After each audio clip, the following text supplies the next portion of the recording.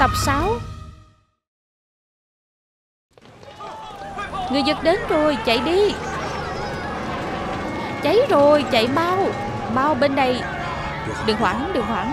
Không trùng hợp vậy chứ. Tự nhiên lại sốt ngay tiệm vàng nhà cô. Nói không chừng người ta nhìn lầm thôi. Cháy ở bên cạnh thôi. Đừng quản đừng quản mà. Cẩn thận.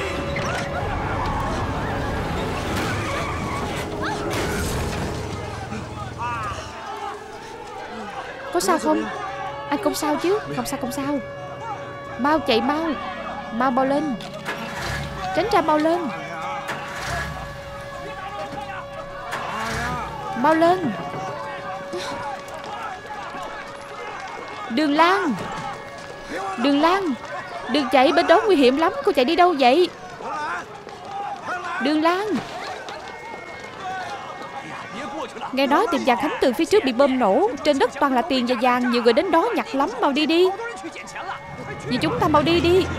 Đường Lan. Đường Lan.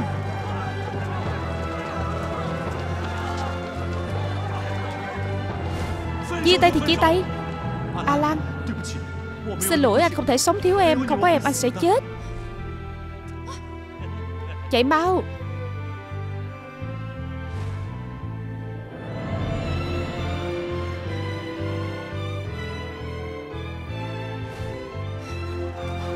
Chạy mau Của tôi vàng Của tôi vàng Của tôi.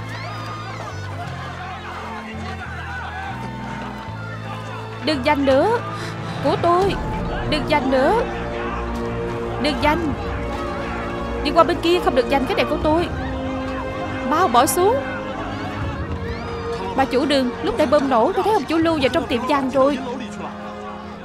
Cái gì? Tránh ra. Của tôi, dừng tay. Tránh ra. Dừng tay. Tôi giặt được dây chuyền vàng rồi của tôi. Đúng là có vàng thật đây Làm gì vậy?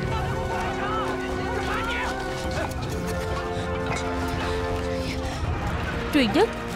Truyền nhất à? Cái này của tôi. Dừng tay, Đừng giành giang nữa, Bao qua đây giúp đi, Bên dưới có người. Bao lên, Của tôi, Đừng giành Giành tiếp đi. Còn ai giành giang tôi bắn chết? Mau giúp người đi. Mau lên. Còn người này, Cứu người trước đi, Mau cứu người. Cứu người, Mau cứu người. Bên này, Ở đây, bên dưới. Nào giúp một tay, Nào. Bên này bên này, Cẩn thận cẩn thận. Cẩn thận. Cẩn thận. Cẩn thận đó, Cứu bạn. Cứu bạn. Cứu bạn đi. Dùng sức đi, Đợi đã. Mọi người im lặng một lúc. Im lặng nào, Đợi đã.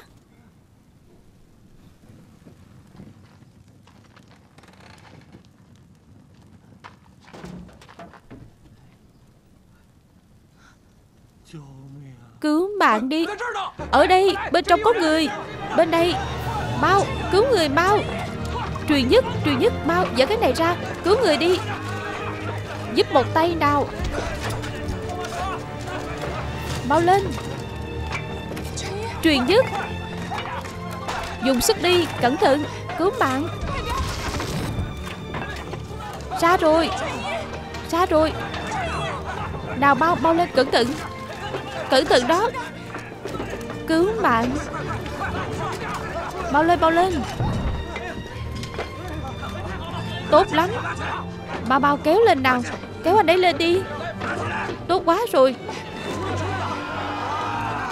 Tốt quá rồi, Vẫn còn sống, đúng là kỳ tích.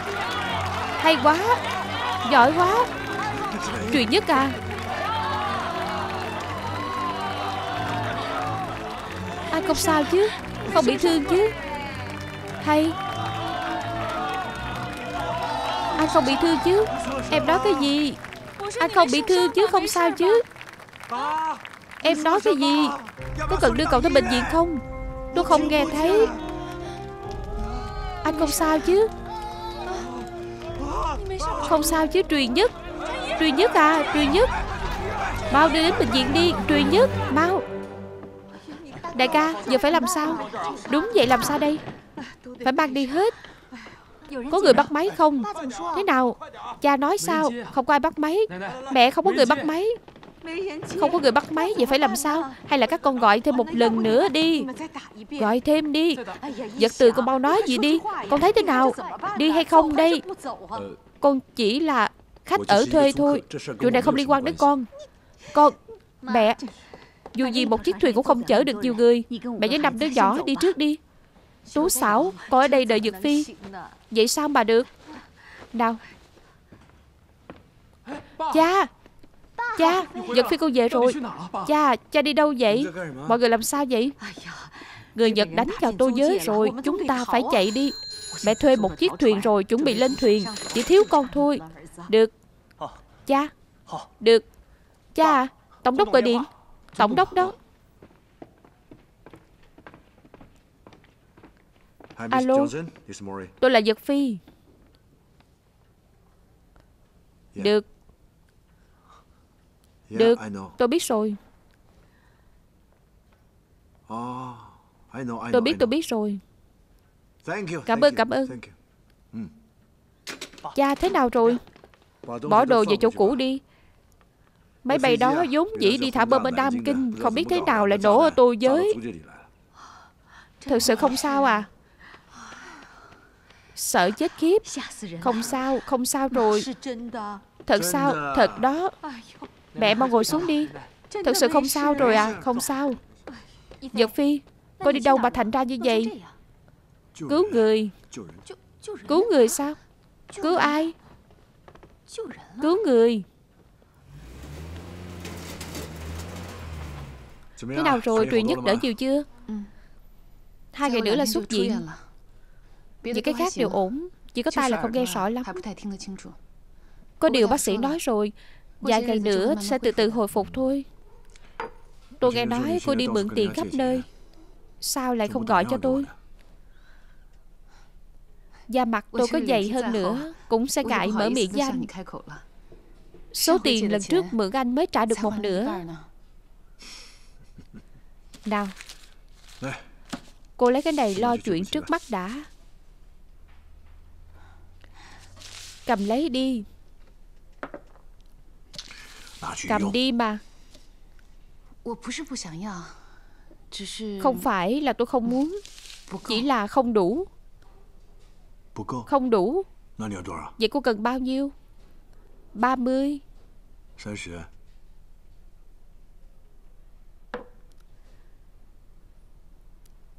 Ba trăm.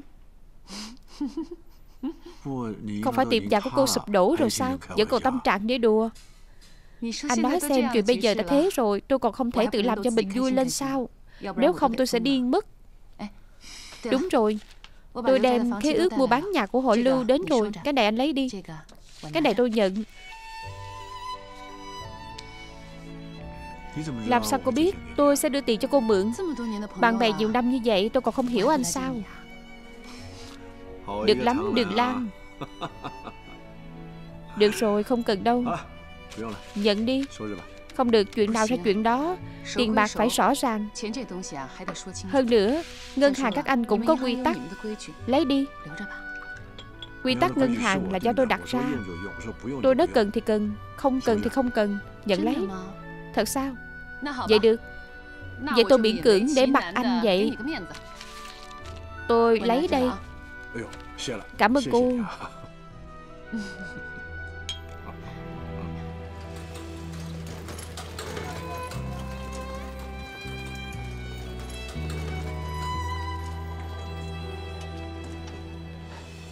Cô à Đến rồi. Đến rồi Thật ngại quá Bà chủ đường, Có người con dâu như cô đúng là có phúc. Tiệm vàng nhà cô xảy ra chuyện như vậy Cũng không quên bóc thuốc cho cha mẹ chồng. Cô đúng là người con có hiếu. Khi nào tiệm vàng của cô mới bắt đầu bán lại? Chắc phải mấy tháng nữa. Không còn gì nữa rồi. Mọi thứ đều phải bắt đầu lại từ đầu.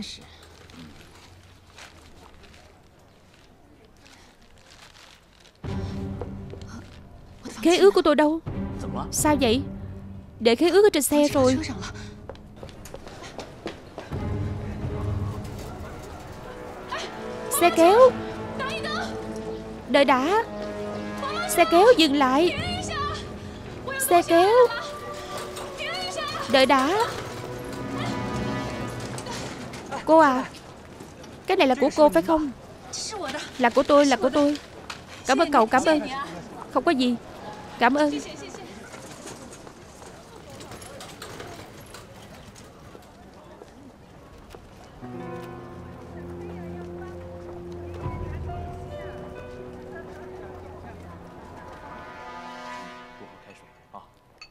Nghỉ ngơi nhiều hơn. Bác sĩ nói thế nào rồi? Không sao.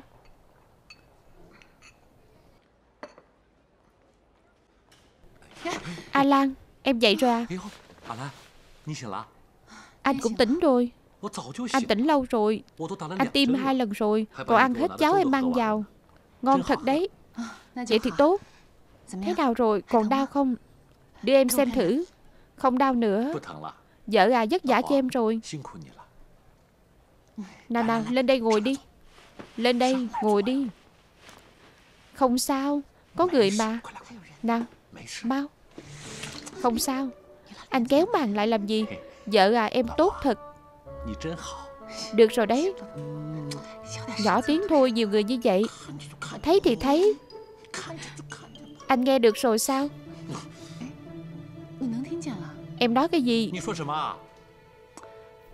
Em nói là anh không cần lo. Gia nghiệp tổ truyền ba đời của anh không bị mất đâu. Em nói nhỏ thôi. Nói to như vậy làm gì? Ở đây đông bệnh dân như vậy. Anh là nghe em thấy rồi à? Anh giả giờ dạ, Được rồi em tính cho anh nhé. Ờ, Ông chủ trình cho chúng ta mượn 20 dạng Trong tay chúng ta có 8 dạng Cộng lại được 28 dạng. Ta muốn sửa một cái lò mạ vàng thì phải tốn 8 dạng. Nếu như sửa chữa hết là từ đầu ít nhất cũng phải tốn 1 đến 2 dạng. Em nói xem Em thật là Vậy là mất 10 dạng rồi. Đúng không? Nhưng bây giờ nhà thuê đắt như vậy Muốn mở tiệm ở trung tâm chắc chắn không ổn. Anh nói xem thuê ở đâu mới ổn đây? Bây giờ mặt em như thế này này. Em đang tính bán cho anh đó. Anh có thể nghiêm túc một chút được không? Được được được em nói đi. Anh nói xem chúng ta thuê ở đâu sao ổn. Em thấy được an hòa tự cũng được Anh thấy sao? Hiện giờ cha mẹ chúng ta ăn không ngon. Em nghĩ có liên quan đến chuyện này. Chắc chắn bây giờ họ đang rất lo lắng. Sau khi về anh nói với họ để họ yên tâm. Có em ở đây em nhất định sẽ khiến cho tiệm vàng trở về Giống như lúc trước Anh hy vọng em sẽ như thế này đã đến nước này rồi, anh còn tâm trạng đùa được sao? Có thể nào nghiêm túc được không? Ngốc à? Anh không thấy cái này giống anh sao? Vậy cái này là em. Đúng không? Đã biết hết chưa? Thật đáng tiếc. Đúng vậy. Ông chủ lưu và bà chủ đường tốt như vậy. Đúng vậy, phải. Thật đáng tiếc. Ông chủ Trình, Ông chủ Trình đến rồi. Ông chủ Trình đến rồi. Đồng vậy sao? Chúng tôi biết ông chủ lưu xuất diện Chúng tôi hẹn nhau đến thăm anh ấy. Phải. Trì đại ca Trùy nhất. Trì đại ca. Trì đại ca thế nào rồi? Sao anh lại đến nhà tôi vậy? Không phải Ý tôi là tôi phải đến nhà anh. Cảm ơn anh mới đúng. Nếu như không có anh cái mạng này của tôi cũng không còn. Nếu không có anh Sợ là tôi và An Lan không gặp được nhau. Là do cậu Phúc lớn mạng lớn Sớm mệnh của cậu thôi. Cái gì đồng nghiệp? Hôm nay tôi mời mọi người đến ăn cơm. Một là để cảm ơn mọi người đã quan tâm tôi và truyền nhất. Ngoài ra là muốn nói với mọi người Tiệm vàng của chúng ta sẽ được gây dựng lại. Mặc dù xảy ra chuyện này nhưng không sao. Công việc của mọi người sẽ không bị mất. Mọi người yên tâm. Bà chủ đường Sau này chúng tôi sẽ không làm cho bà nữa. Tại sao? Trước khi tiệm vàng mở lại tôi sẽ trả công mà Bà chủ đường, tôi sẽ không làm nữa. Phải, Không làm nữa, tôi cũng không làm nữa, Chúng tôi không làm nữa, Không làm nữa. Cho dù mọi người muốn tiếp tục làm cho chúng tôi Tôi cũng không làm nữa. Từ hôm nay trở đi, Tiệm vàng Khánh Tường đóng cửa. Tại sao đóng cửa? Anh nói cái gì vậy? Sao vậy? Alan Tối hôm kia còn đến thăm truyền nhất, Mà đến nỗi ngủ quên ở đó. Cho nên cha với truyền nhất đã bàn bạc quyết định chuyện này. Cha cũng đã nói chuyện với những công dân ở đây, Bọn họ cũng đồng ý rồi. Cha Tiệm vàng là tâm huyết của cha.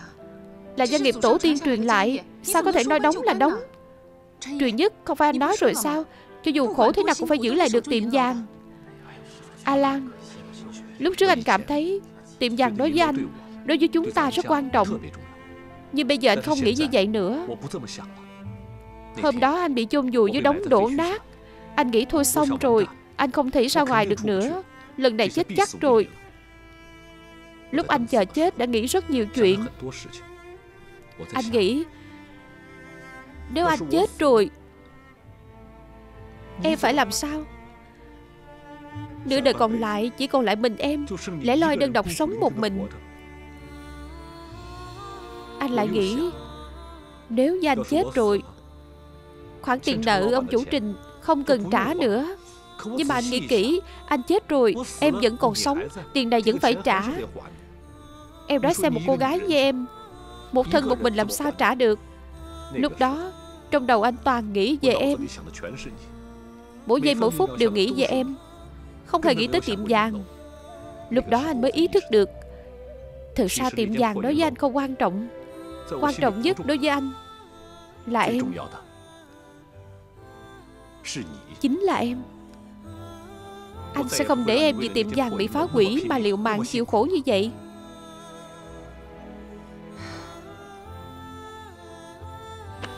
Đồ ngốc. Vậy thì ít nhất cũng phải bàn bạc với em. Sao lại không bàn bạc với em chứ? Mà đã quyết định rồi. Em. Nói cái gì? Bà chủ đường, bà. yên tâm đi. Tôi giới giàu có như vậy Chúng tôi nhất định tìm được công việc. Chị Lan, mọi người không sợ không tìm được công việc. Chỉ là chúng tôi không nỡ xa chị Mọi người đã nói rồi Cả cái tôi giới Thượng Hải này Không có người chủ nào tốt với công nhân như chị. Đúng vậy bà chủ đường, ông chủ lưu Chúng tôi không nỡ sao bà chủ. Chúng tôi phải cảm ơn hai người. Mặc dù chúng ta không làm gì cùng nhau Nhưng nếu anh cần lúc nào chúng tôi cũng quay lại giúp đỡ. Nói hay lắm Lúc nào chúng tôi cũng có thể quay lại. Bà chủ đường yên tâm. Cảm ơn mọi người. Cảm ơn mọi người. Cảm ơn đã vất vả ra sức làm việc cho tiệm vàng nhiều năm như vậy. Cảm ơn. Chị Lan Ông chủ luôn nói trong đống đổ nát anh ấy chỉ nhớ đến chị. Lưu bá bá cũng vậy. Vậy còn chị thì sao? Lúc chị chạy về đó chị nghĩ cái gì? Đó chúng tôi biết đi. Đúng vậy. Tôi cũng muốn biết. Gì? Phải Nói thử đi. Ông chủ Trình đừng chọc tôi. Mọi người có muốn nghe không? Muốn. Nói thử đi bà chủ Lúc đó tôi nghĩ Trong tiệm vàng còn có mười mấy cặp vòng vàng tay lông phụng Còn có những vàng dây chuyền vàng Có khi nào bị người khác cướp mất không? Sao có thể không đâu? Cô lừa chúng tôi. Xem xem bà chủ đường của mọi người. Tôi quen biết cô ấy mười mấy năm. Lần đầu tiên thấy cô ấy ngại ngùng như vậy. Nói đi, mau nói đi. Được rồi Đừng chọc vợ tôi nữa. Những lời này nên để cô ấy đóng cửa Nói riêng với mình tôi thôi. Đúng rồi, vẫn còn một chuyện Cần tuyên bố với mọi người để cảm ơn mọi người bao năm nay đã làm việc vất vả Sau khi ăn cơm xong sẽ phát tiền công lần cuối. Lần này sẽ phát 3 tháng lương. Không được. Tiền công anh trả chúng tôi đã cao hơn những tiệm vàng khác rồi. Chúng tôi không thể lấy nhiều tiền của anh như vậy. Có phải không? Chúng tôi không thể Không thể lấy. Ai là ông chủ Tôi nói Như thế nào là thế nấy. Nếu anh muốn như vậy Bữa cơm này chúng tôi không ăn nữa. Chúng tôi đi đây Ê, đừng mà, Mọi người đừng đi. Đồ ăn nhiều như vậy, Trời lại nắng nóng, Nếu không ăn sẽ bị hư. Vậy tôi phát cho mọi người hai tháng lương có được không? Không phát 3 tháng. Có được không? Hai tháng thôi. Như vậy được rồi chứ. Đường Lan, cô phán xét giúp tôi đi. Tôi với em trai tôi Trình Nhật Tường Không biết là tại sao cứ bắt buộc tôi đào xương cốt của cha tôi lên khai quan nghiệm thi. Nếu không nó nói chúng tôi mãi mãi không nhìn mặt nhau. Tại sao cô ấy phải làm như vậy? Lúc cha tôi còn sống Từng nói với tôi Với nhân phẩm và đức tính của Trình Nhật Tường. Nếu tôi để cho nó có tiền Thì chỉ có bốn từ Vì tiền rước quả. Cho nên sau khi ông ấy chết không để lại cho nó đồng nào Sau này cũng không muốn ai tung tin đồn. Nói tôi thay đổi di chúc quân mấy độc chiếm gia sản. Còn có một ông chủ tiệm thuốc nói rằng Lúc cha ta còn sống Có bán cho tôi một túi thạch tính Là tôi đã độc chết cha của tôi. Chính tôi giết cha tôi đó. Vậy sao không làm sáng tỏ sự việc? Làm sao mà làm sáng tỏ? Trước khi tôi biết được tin đồn này Cha anh đã lẩm cẩm vì tuổi già rồi. Cô nói xem. Nói xem người ngoài nghĩ thế nào thì cũng không sao. Nhưng tôi và Trình Nhật Tường Hai chúng tôi là anh em ruột. Nó lại đi nghi ngờ tôi. Tôi là người như vậy sao Ông chủ Trình được rồi. Từ sau chuyện này Nó bắt đầu không chịu làm việc Cũng không muốn cưới vợ. Suốt ngày cứ lại nhảy chuyện này. Khăng khăng nói là xương cốt cha tôi Màu đen. Nhất định phải khai quan nghiệm thi. Cô nói xem có quan đường không? Còn có Nguyệt Lượng. Tôi nói chuyện với Nguyệt Lượng. Cô đoán xem nó nói cái gì Cha, con thấy cha quả thật có hiềm nghi. Cô nói xem tôi có tức thổ quyết không? Ông chủ trình Ông có thể nghe tôi nói vài câu không? Cô nói đi. Yêu cầu của Trình Nhật Tường Mặc dù không đúng đạo lý nhưng đổi vị trí suy nghĩ Nếu tôi làm Tôi sẽ tìm một lý do và một cơ hội thích hợp. Đào xương cốt của Trình Lão Tiên Sinh lên Để cậu ta kiểm tra cho rõ. Cái gì Đến cô cũng cho rằng tôi là cái loại hạ độc hại chết cha ruột sao? Tôi không phải nghĩ như vậy. Lúc nãy cô nói đổi vị trí suy nghĩ mà. Có phải cô muốn tôi vì một tin tức nghi ngờ không đâu Mà đem đào xương cốt của cha tôi dưới đất lên Khiến cho cả thế giới xem tôi là một đứa con đại nghịch bất đạo sao? Cho hỏi tôi làm như vậy Sao lại có thể lăn lộn ở đất Thượng Hải này không? Ông chủ Trình tôi nhớ anh từng nói với tôi Trình lão tiên sinh thương hai người các anh nhất Vì anh với em anh cái gì ông ấy cũng có thể làm. Khổ nào mấy cũng chịu được Được rồi đừng nói nữa. Còn nữa, chúng ta không thể làm bạn được nữa mất. Tôi chỉ hy vọng người bạn chân thành như cô Có thể nói giúp tôi vài lời thật lòng, Vài lời công đạo. Vậy tôi đã cảm kích rồi. Nhưng mà những lời tôi nói đều thật lòng. Lời thật lòng muốn tôi đào xương cốt cha tôi lên sao? Để người ta xem tôi là đứa đại nghịch bất đạo. Ông chủ trình, Anh đã là cha của năm đứa con rồi, Và anh từ từ nghĩ, Anh cảm thấy sợ nhất điều gì về các con của mình? Nghèo sao? Không có tương lai sao? Tôi cho rằng một người làm cha Sợ nhất là các con đấu đá lẫn nhau. Không phải sao? Tôi tin nếu trình lão tiên sinh trên trời có linh thiêng. Biết được nếu đào xương cốt ông ấy lên Có thể giải quyết mâu thuẫn giữa hai anh em các anh. Anh nghĩ ông ấy sẽ mắng anh là nghịch tử sao? Đổi chủ đề khác đi được không? Đừng nói nữa. Tôi biết. Anh thật lòng xem tôi là bạn Cho nên tôi cũng phải nói những câu thật lòng. Anh có biết bao nhiêu năm nay Tại sao anh không khai quan nghiệm thi Không đồng ý quá giải mâu thuẫn với anh em các anh không? Tại sao? Tại vì anh quá xem trọng người khác Nhìn anh thế nào? Anh cứ nghĩ nếu mình làm như vậy Thì mình là kẻ chẳng ra gì. Mình làm như vậy chính là đại nghịch bất đạo. Mình làm như vậy Mình không có mặt mũi nhìn người. Trước mỗi câu nói của anh Anh đều có thêm chữ mình. Có đúng không Anh nghĩ kỹ lại đi. Được rồi. Cứ nói tiếp không có lợi cho cô. Đừng nói nữa. Đừng nói nữa. Tôi muốn yên tĩnh một mình. Hôm nay không mời cô ăn cơm được. Cô về trước đi. Được. Những gì muốn nói tôi cũng đã nói xong rồi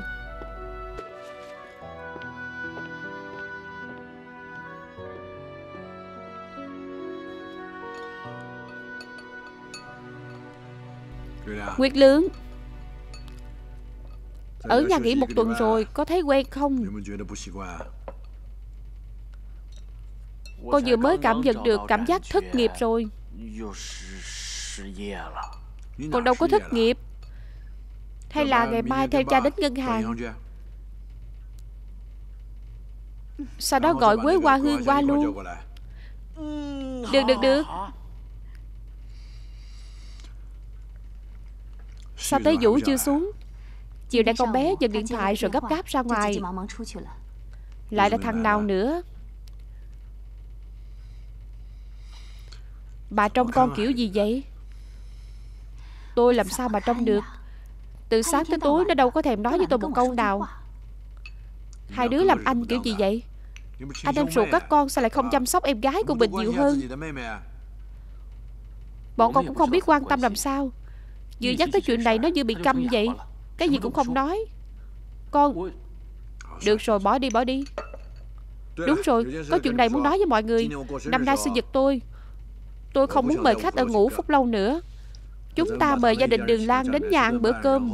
Sau đó uống trà, Nói chuyện ở hoa viên. Như vậy được rồi.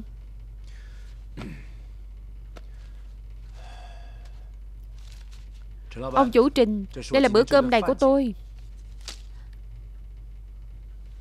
Giật tường à Suốt của con muốn làm gì? Có thể nói chuyện đàng hoàng Với anh của con được không? Tất nhiên là được. Lúc nào chỗ nào cũng được. Chỉ cần ông chủ trình đáp ứng yêu cầu của con.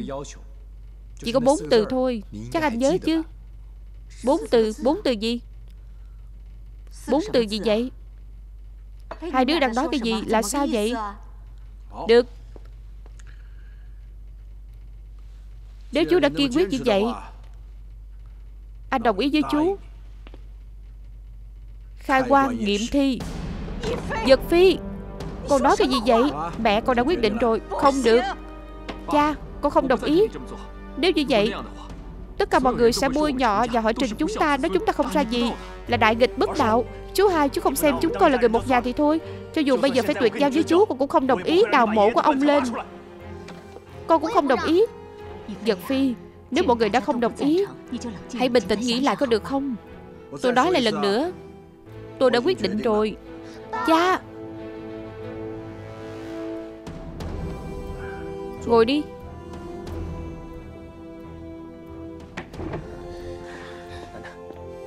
Mẹ, Ngồi đi, Đại ca. Anh đồng ý thật sao? Nhưng tôi có ba điều kiện. Thứ nhất, Phải tìm thầy phong thủy giỏi nhất ở tôi giới. Xem ngày tốt mới được đào Sau khi nghiệm thi xong Tìm một nơi phong thủy tốt hơn, chôn cất cha. Được, Tất nhiên là được. Thứ hai, Sau khi khai quang, Nếu thực sự không giống như chú nói, Xương cốt cha không bị đen. Tôi muốn chú khấu đầu nhận tội trước linh cữu của cha. Ngoài khấu đầu với cha, còn phải khấu đầu với mẹ, Khấu đầu với tôi, Khấu đầu với tất cả mọi người nhận sai.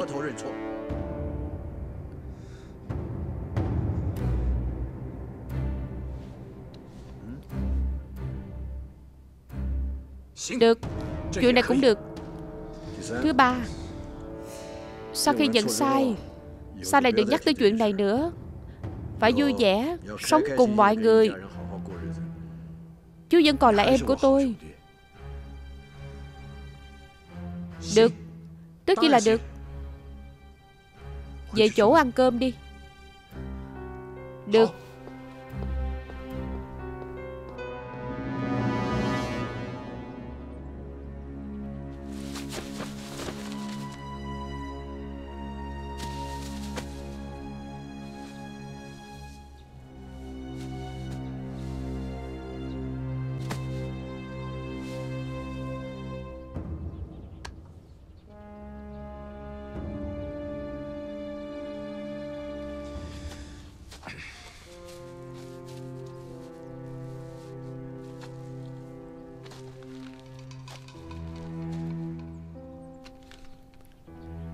lấy lời tôi.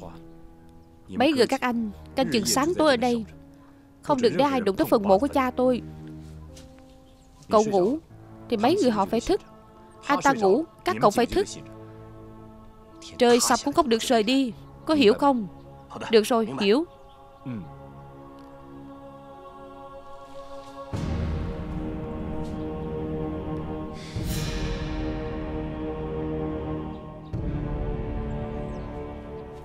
Chú hai, chú Lưu. Đây, cảm ơn. Cái đó, Trình Nhật Tường. Anh giúp tôi xem thử. Tôi đó anh biết. Điều sinh mệnh này của tôi Tôi không biết xem chỉ tay. Thế nào? Anh mau đến đây giúp. Chú hai, chú Lưu. Mời. Chị Lan. Trình đại ca. Di Phóng. Di Phóng mau lên qua đây. Sao Nguyệt Lượng không đi cùng cô? Chắc là giờ này Đang kéo Quế Hoa Hương vào phòng Cho cô ấy xem. Bộ đồ mới của cậu ấy rồi. Thật chịu không nổi nó. Thế nào tiệm vàng đóng cửa đã quen chưa?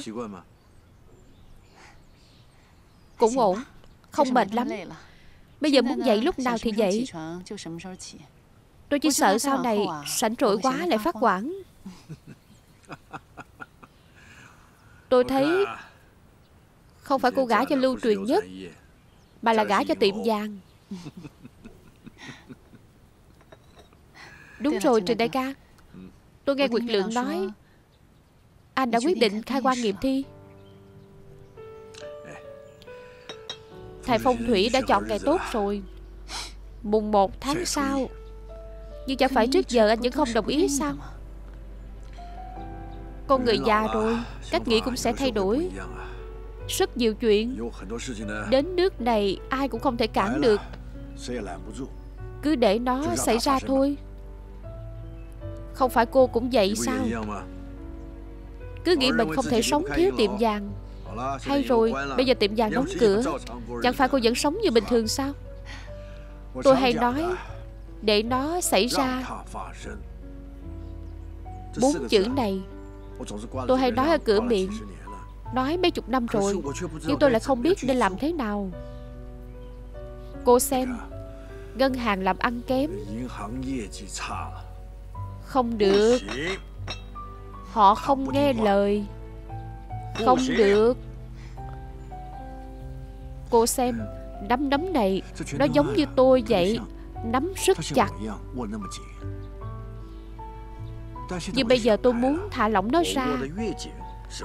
Tôi càng nắm chặt thì sao? Tôi càng nắm không được. Thật sao? Tất nhiên là anh thật. Anh thực sự muốn thả lỏng nó ra. Tôi nghĩ thông rồi.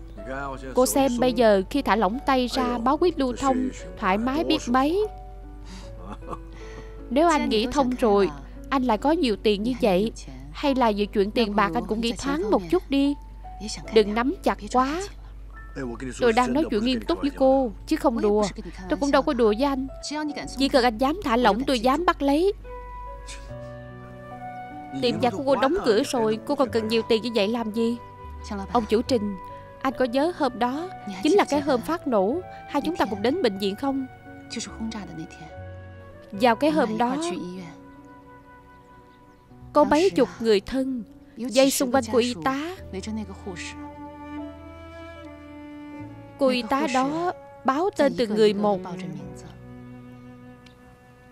Lúc đó cực kỳ yên tĩnh. Bởi vì mọi người đều không dám làm ồn.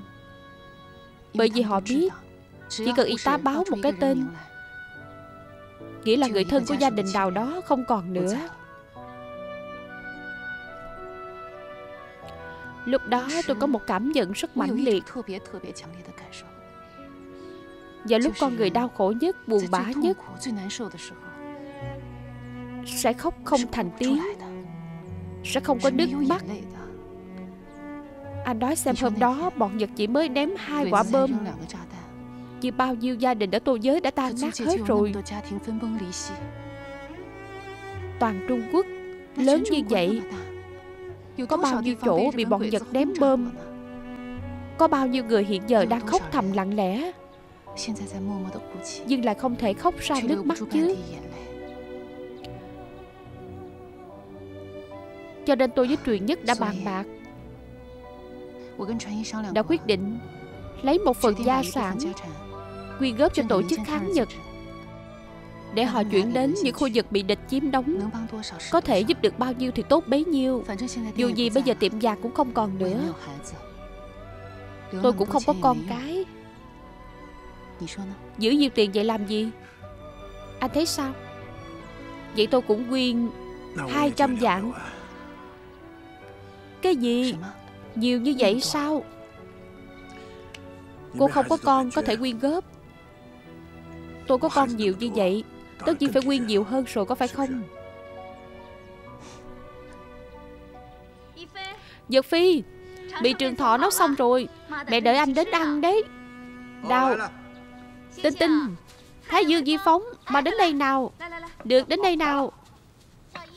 Dì xảo tôi đến đây.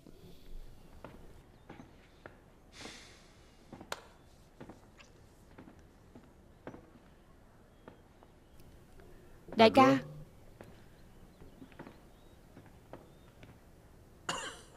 Ngày mai phải lên núi rồi. Sao chú còn chưa ngủ? Không ngủ được. Anh cũng không ngủ được. Nghĩ đến ân quán của chúng ta mấy năm nay. Trong lòng anh giống như lúc bình ngủ dị lật ngược. Có điều chuyện đáng chúc mừng là Đấu đá bao nhiêu năm? Tất cả những hiểu lầm Ngày mai có thể chấm dứt rồi. Sao ngày mai Chúng ta có thể trở về hòa thuận Giống như lúc trước? Đúng. Ngày mai hẳn nói. Được. Được. Ngủ sớm đi Đại ca Sao đột nhiên hôm nay lại ho nhiều vậy? Ho từ hôm qua rồi. Đã khám bác sĩ Bác sĩ nói không sao. Đại ca Ý của tôi là Nếu như ngày mai anh vẫn không khỏe Anh cũng phải sáng nhịn. Chúng ta lấy được xương cốt của cha lên rồi hãy nói. Tất nhiên rồi.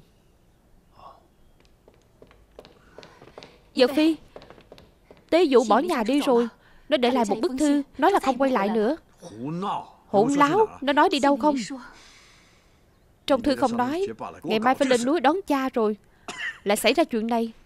Đại ca. Tế Vũ có thật là nó Ý tôi là cho dù xảy ra chuyện gì Ngày mai chúng ta nhất định cũng phải lấy xương cốt của cha lên. Tất nhiên rồi. Tôi biết rồi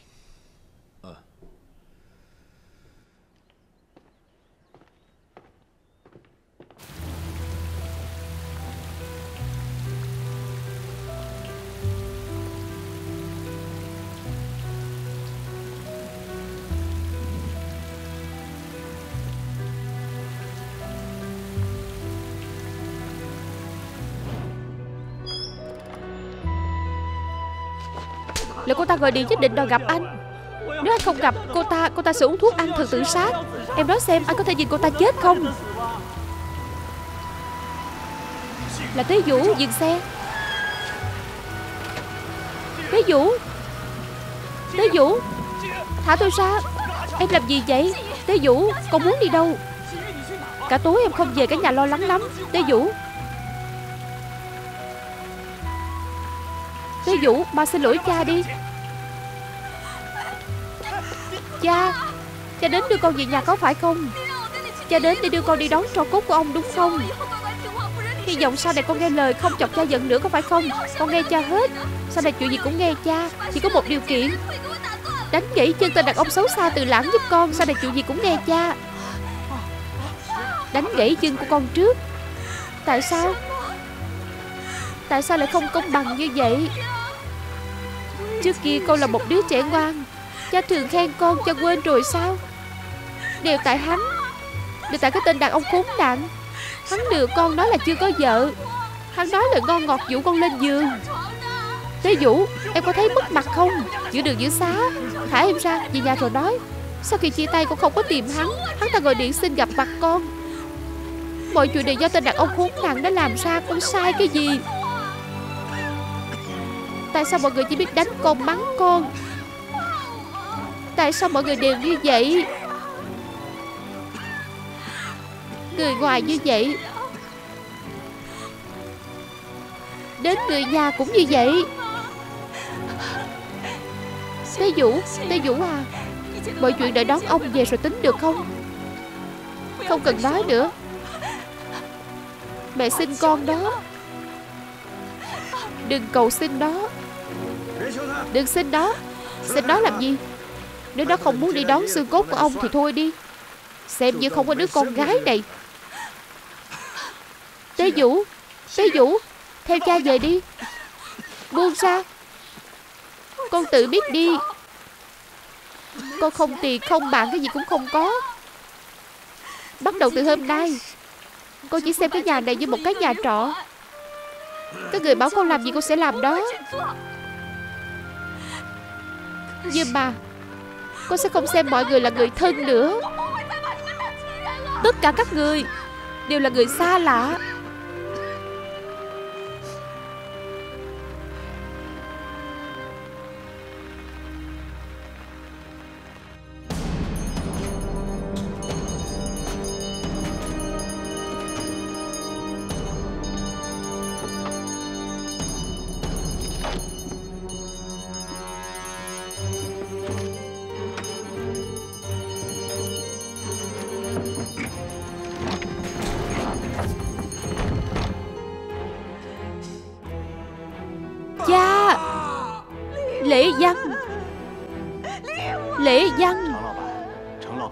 Trình đã khai quật linh cữu của Trình Lão Thái Gia lên rồi.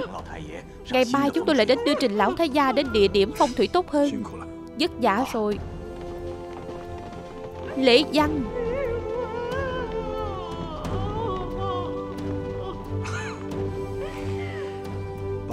Cha, Con biết chúng con làm như vậy là đại nghịch bất đạo. Nhưng con tin, Linh hồn cha trên trời sẽ ủng hộ con, Sẽ đồng ý cho con làm như vậy. Cha. Cha ở trên trời có linh thiêng. Nhất định phải nói cho con biết. Chân tướng sự việc. Suốt cuộc cha chết như thế nào? Cha nhất định phải nói với con. Tinh tinh, Thái Dương, Nguyệt Lượng. Ba đứa bao giờ nắp quan tài của ông đi Để chú hai của con Có thể nhìn cho rõ Suốt cuộc là như thế nào